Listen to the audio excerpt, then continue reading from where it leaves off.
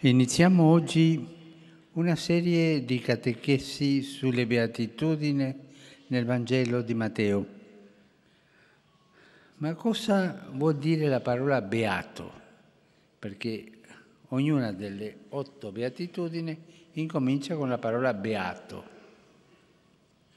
Il termine originale non indica uno che ha la pancia piena o se la passa bene ma è una persona che è in una condizione di grazia, che progredisce nella grazia di Dio e che progredisce sulla strada di Dio.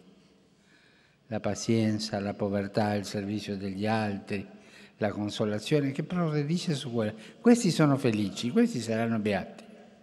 E sarebbe bello imparare a memoria eh, per ripetere, per avere proprio nella mente, nel cuore questa legge che Gesù ci dà.